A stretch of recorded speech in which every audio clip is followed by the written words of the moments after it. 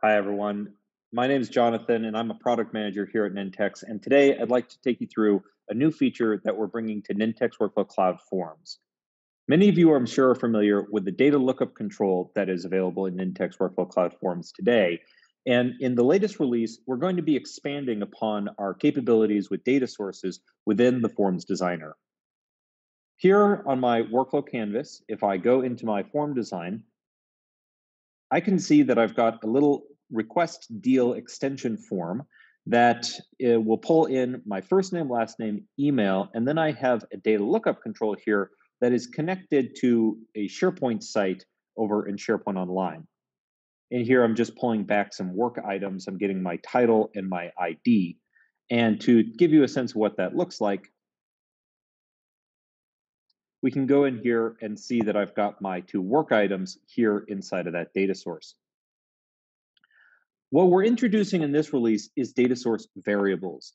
And this is the idea that you can now pull in multiple different values from your data source and use them throughout your form design. For example, here in my DL details, I have several different variables that I want to pull in based on the work project that I select in that dropdown. The way that I'm interacting with these is that from within the insert panel here, you can now see a new external data section.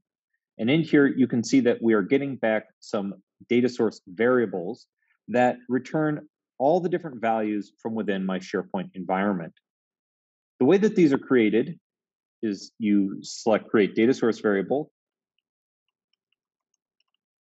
you give it a name and select an available data source. I'm going to go ahead and select my testing connector. This is connected to SharePoint Online. And in here, I can then see all the columns that are available from the list that this is connected to. And I can specify an item limit if I want.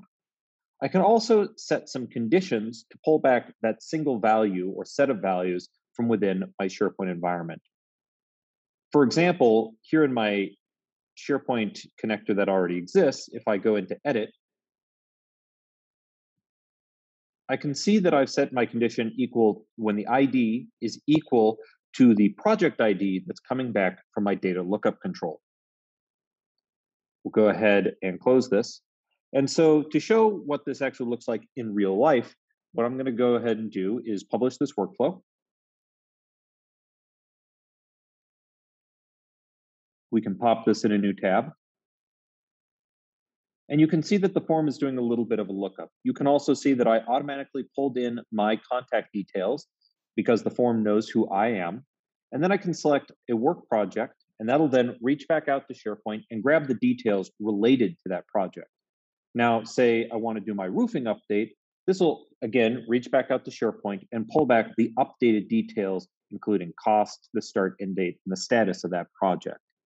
So that's how you can use data source variables in a label. Let's see how you can also use data source variables to maybe populate some other controls in your form.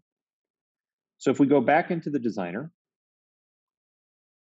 and now I want to set a rule that when my work project has been selected, I'm actually going to set the first name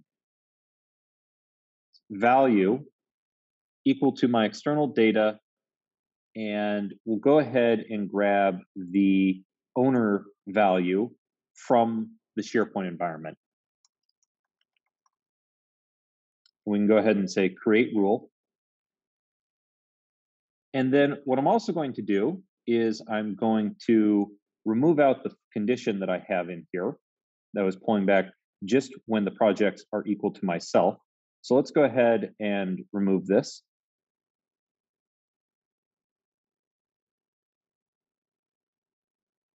And then let's go ahead, I'll apply these changes and we'll republish this workflow.